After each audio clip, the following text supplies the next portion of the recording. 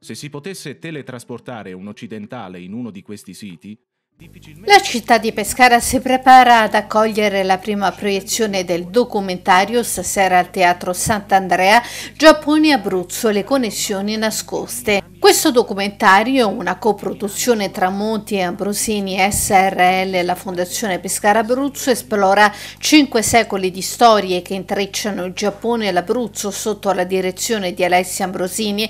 L'opera è un tributo alla memoria della yamatologa abruzzese Marisa Di Russo, figura chiave nelle relazioni culturali tra Italia e Giappone. Grazie al supporto dell'Associazione Giappone e Abruzzo è stato girato il documentario includendo materiali inediti che illuminano la storia antica e moderna di questi luoghi.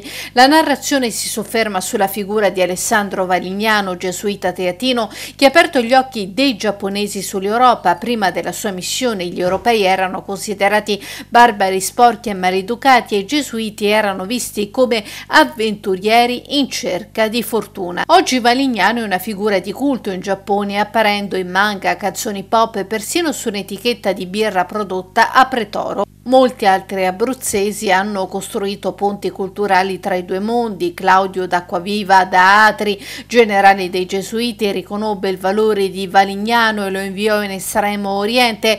Raffaele Ulisse Barbolani da Colle di Macine, ministro plenipotenziario del Regno d'Italia alla corte dell'imperatore, Gabriele D'Annunzio, l'autore italiano più letto in Giappone dopo Dante Francesco Paolo Tosti, il cui repertorio è protagonista di un concorso di canto panasiatico, sono altre figure di rilievo. In tempi più recenti l'ex pilota di Formula 1 Jarno Trulli ha raggiunto un ulteriore tassello a questa storia di connessioni. Abruzzo e Giappone condividono anche tradizioni simili come le spettacolari feste del fuoco la festa di Sukagawa è così simile a quella delle Farche di Fara Figliorum Petri che guardando delle foto gli abitanti non riuscirebbero a distinguerle. Realizzare questo documento, afferma Alessia Ambrosini, è stato estremamente faticoso ma molto gratificante. L'obiettivo era raccontare un Abruzzo sconosciuto ai giapponesi e far conoscere ai nostri corregionali un paese